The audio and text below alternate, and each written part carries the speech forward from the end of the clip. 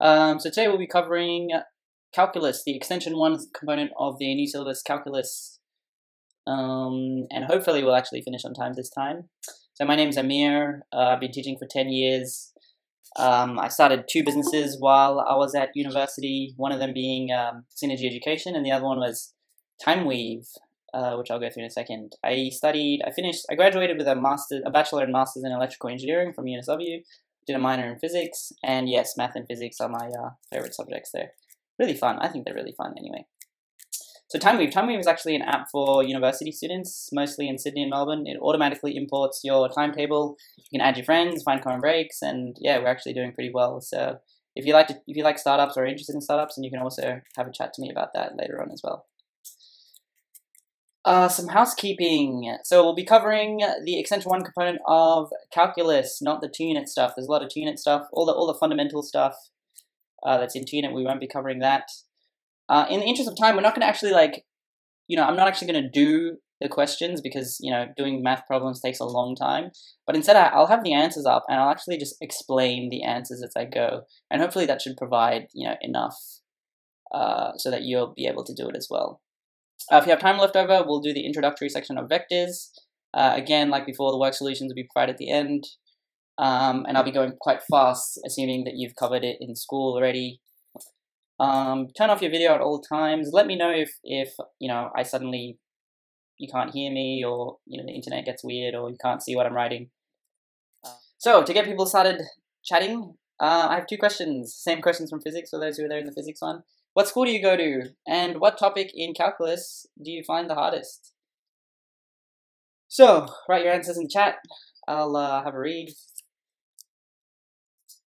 It'll be good. It's good to me. Ah, it's good for me so I can see who's kind of like looking to be really engaged because then I can like name them as well when uh, we go through some of the questions.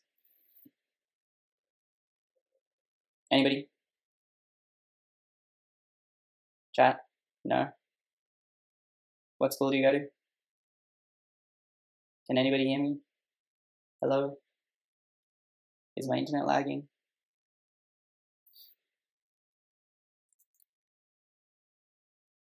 Differentials the hardest? Yeah, differentials is um is new, is a new it's not in the old syllabus. Most of the other things were in the old syllabus, but differential equations is new. So that makes sense that it's the hardest because um, there is not much content out there. Actually, if you if you have any friends or know anyone that does first year university, um, the first year university textbook covers differential stuff really quite well. Thankfully, we're only doing first order differentials in the HSC. Otherwise, it would get a lot more complicated. You'll have to do differentials in in university, which gets uh, really bad really fast. Anybody else want to say what school they go to? No, seriously, are we are we not going to have anybody we have 20 people here. Nobody, nobody has access to a keyboard. Inverse trig integration. Excellent. We're going to be starting with that. Thank you, Lily and Nathaniel. Um, I might be picking on you two to, to answer questions as we go along so that I'm not super bored. But I really appreciate your uh, messages. what school do you go to, Lily? I don't know. I don't know if you told me in the physics seminar, but uh, it'd be good to know.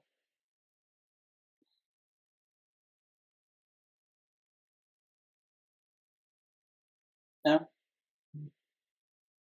Okay, I tried.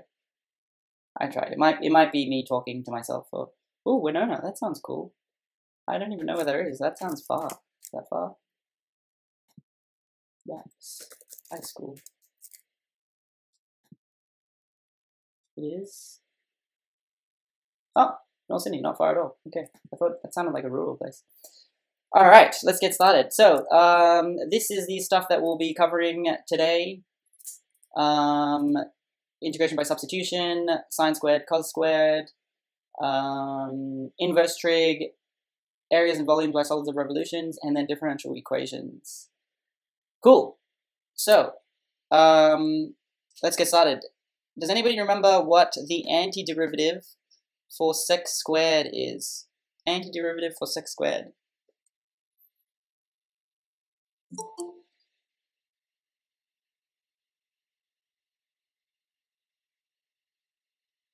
We have the formula sheet up here. Anybody? Antiderivative for sec squared? Can they find it?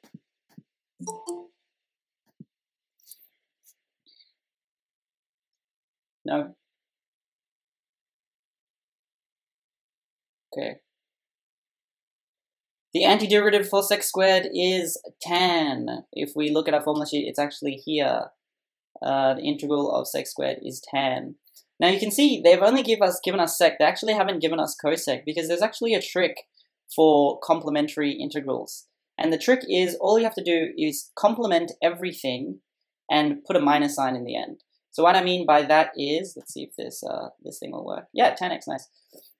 Um, if you think about the integral of cos, it's equal to sine, right? So now if we if we complement uh, these things, so if the complementary of something that's already complemented is just sine. So cos is remember short for cosine.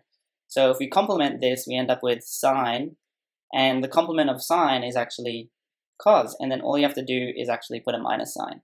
So if you know uh, sec squared, you know sec squared is tan, then you can actually complement this and complement this. So that means cosec squared is actually equal to cotan, which is which is cot, um, and then just put the minus sign. So this is actually something that's not explicitly stated in the syllabus, but you're actually expected to know this.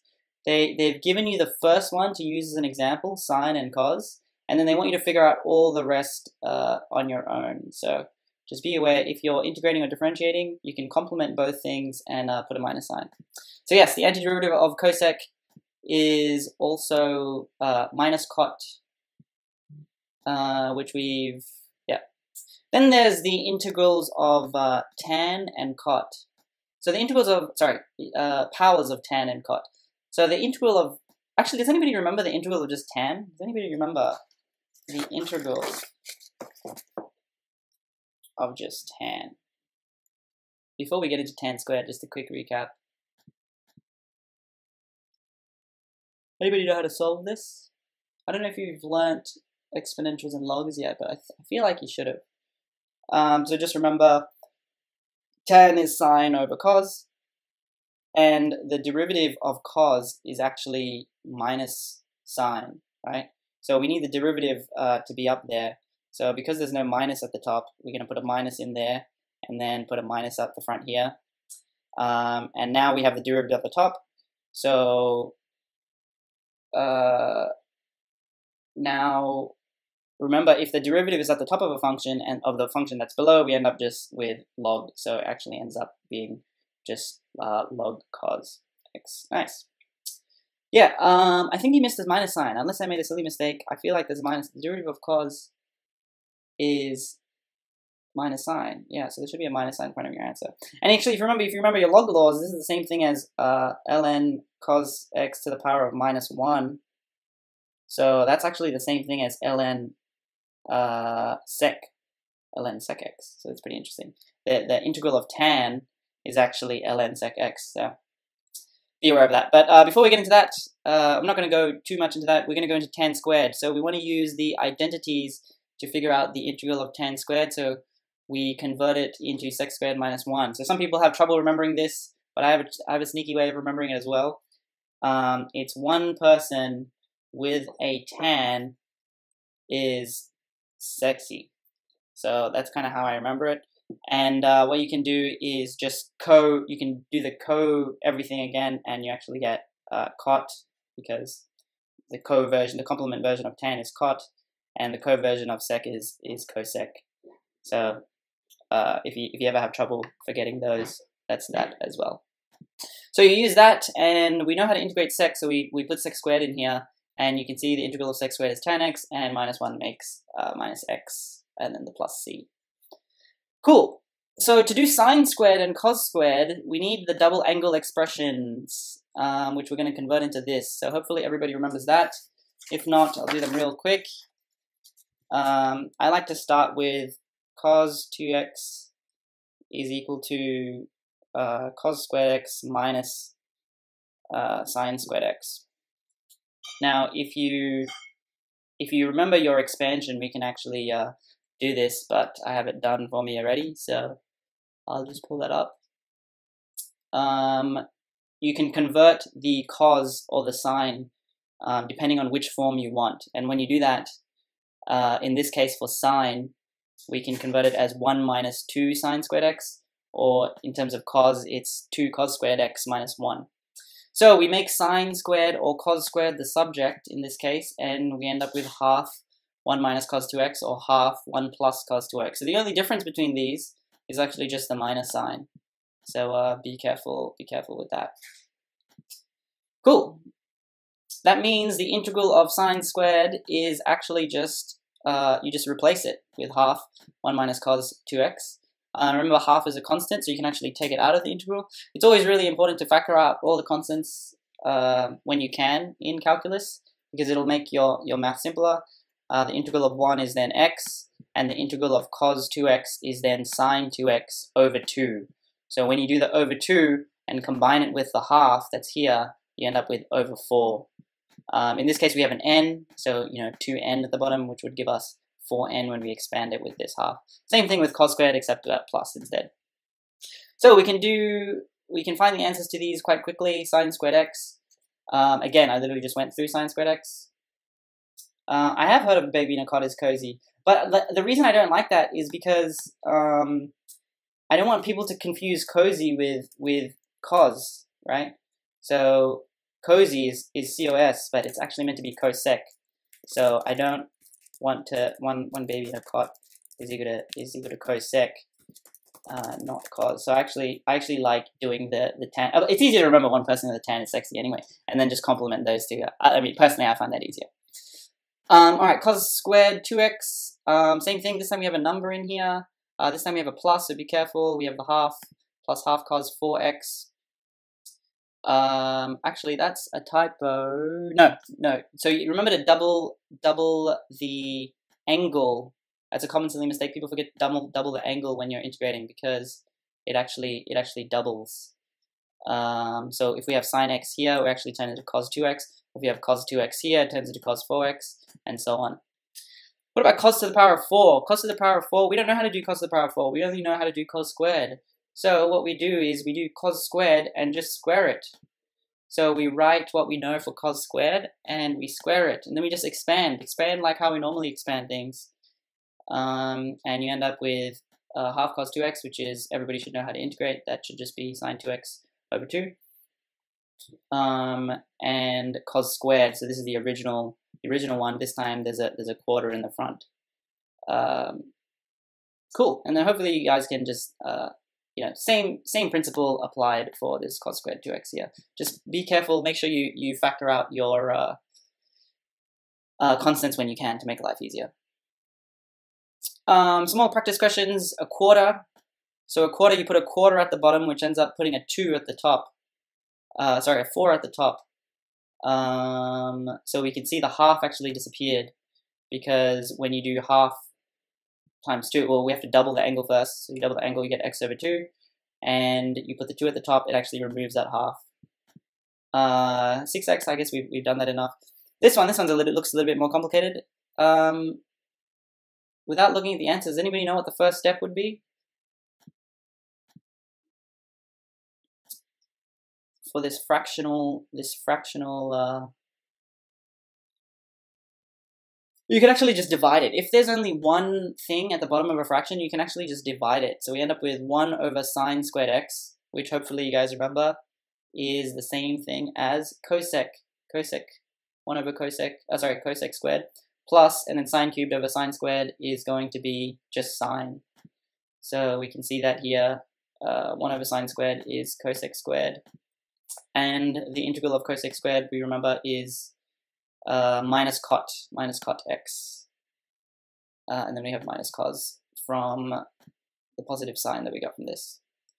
Tan cubed x. This one's a little bit tricky. Tan cubed x, we actually want to split it up. We want to split it up into, um, we want one of the tans to be in there, and we want the other one to, we want the tan squared to, to be changed into sec squared minus 1. Uh, and the reason for that is when we expand this out, we can actually see sec squared tan x. And remember, sec squared is the derivative of tan x. So that's, if you think about a substitution where u is equal to tan x, the derivative is actually sec squared. So we end up with um, tan squared x over 2, kind of like u squared over 2, just a simple you know, u equals tan x here.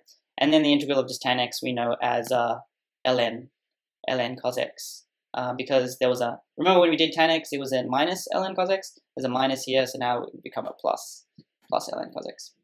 Did everybody understand that? Let me know if, if that was uh, confusing. This is actually quite a common question that comes up in, in like, you know, question one of your exam, so let me know if I, if I need to go through that again. Alright, if y dash is equal to sine squared plus tan squared and y is equal to 1, x is equal to 1, find y when x is equal to pi on 4. So what we want to do is integrate this again. The integral of sine squared, again, we use the same method as we did before.